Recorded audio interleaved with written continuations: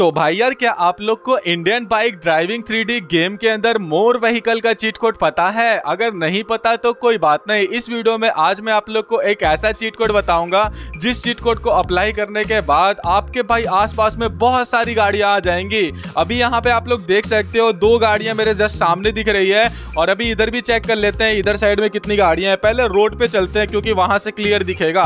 तो यहाँ पे आप देख सकते हो, मेरे सामने वहाँ दो कार दिख रही है, और इधर साइड में एक कार है जो कि चली गई। अब मैं थोड़ा सा और आगे जाऊँ या फिर यहीं पे यहीं पे लिख देते हैं। इसका चीट कोड काफ़ी ज़्यादा आसान है। Five four three two one उल्टा भाई five four three two one पे जैसे ही कॉल करोगे तो ये मोर व्हीकल वाला चीट कोड आपका अप्लाई हो जाएगा।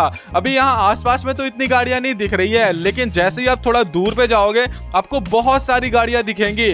पहले मैं यहाँ पे साइकिल मंगाता हूँ साइकिल से चलेंगे, फिर उसके बाद मैं आपको दिखाऊँगा कितनी सारी गाड़ियाँ थोड़ी थोड़ी दूर पे हम लोग को देखने को मिल जाएगी। अगर आप इस चीट कोड को अप्लाई नहीं करोगे तो आपको बहुत ज़्यादा दूर पे गाड़ियाँ देखने को मिलेगी। लेकिन जैसे ही चीट कोड अप्लाई कर दोगे तो तुरंत तुरंत आपको गाड़ियाँ देखने को मिल जाएगी। जैसा कि यहाँ पे देख सकते हो, इतनी सारी गाड़ियाँ आ चुकी है। तीन गाड़ियाँ इधर हो गई। अभी आगे चलते हैं। तीन चार गाड़ियाँ इधर भी दिख जाएँगी।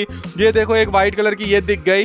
थोड़ी सी और आगे चलते हैं। यहाँ पे देखो, एक और white colour green colour green colour तो भाई, इसका चीट कोड मैं दोबारा से आपको याद दिला देता हूँ। Five four three two one जैसे ही आप लोग five four three two one पे कॉल करोगे तो आपके सामने मोर व्हीकल वाला चीट कोड अप्लाई हो जाएगा। ऐसी और भी वीडियोस देखने के लिए चैनल को सब्सक्राइब ज़रूर कर देना।